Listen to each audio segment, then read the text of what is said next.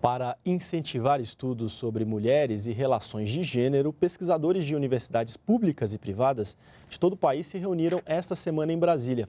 E sobre este assunto, a gente conversa agora com Priscila Machado, que vai trazer para a gente um balanço deste encontro. Não é, Priscila? Boa noite.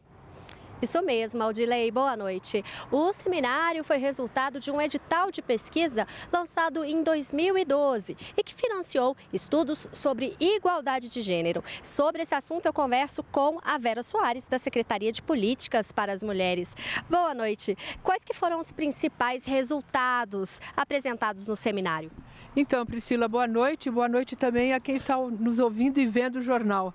O seguinte, esse é um seminário que é um edital para doutores e doutoras, não é, do meio acadêmico, mas ele, como ele é realizado no âmbito da Secretaria de Política para as Mulheres, em parceria com o Ministério do Desenvolvimento Agrário e do Ministério e o CNPq, que é o Conselho Nacional de Pesquisa, então, ele tem um viés forte acadêmico. Nós fizemos o seminário para que as pesquisas estão terminando, não é?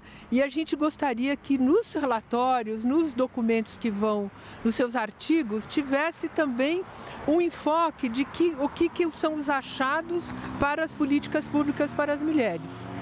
Nós tivemos cinco grupos, Uh, agrupamos assim os trabalhos em educação, em saúde, na área rural, enfrentamento à violência, participação, movimento e relações de poder. Então, em cada um deles tinha uma diversidade enorme de trabalhos, né? E tivemos bastante recados para as políticas. É, desses cinco grupos, a gente pode destacar alguma coisa, alguma iniciativa? Pode sim. Por exemplo, no enfrentamento à violência, nós tivemos muitos trabalhos dos operadores de direito, não é? Então, como que a, essa, a justiça está funcionando, nos seus vários mecanismos, que é um, um importante programa da Secretaria de Política para as Mulheres. Na área rural, nós tivemos análises, por exemplo, do, do programa de produção de alimentos, que tem um forte impacto na, na produção familiar e, portanto, nas camponesas, nas trabalhadoras do campo. Então, elas deram várias dicas de como pode melhorar o programa. Tivemos, por exemplo, no outro grupo, que, que um programa que analisou o envelhecimento das mulheres, né? Porque hoje a gente tem uma transição demográfica importante. A nossa população está envelhecendo. E a velhice era uma velhice feminina.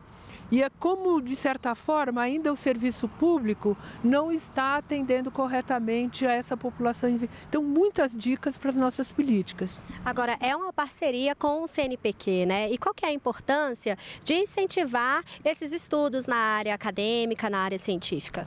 Então, o... Uh Primeiro que a gente tem esse, exatamente essa importância do, uh, do, do, edital, ele faz parte de um programa, né? Que é um programa Mulher e Ciência. Isso é uma das atividades no qual a gente quer incentivar os estudos sobre a participação da mulher, a conquista da igualdade, o que está acontecendo com as nossas políticas e, ao mesmo tempo, fortalecer essa perspectiva acadêmica na sociologia, na história, para trazer esta outra dimensão da análise teórica que é, são as relações de gênero.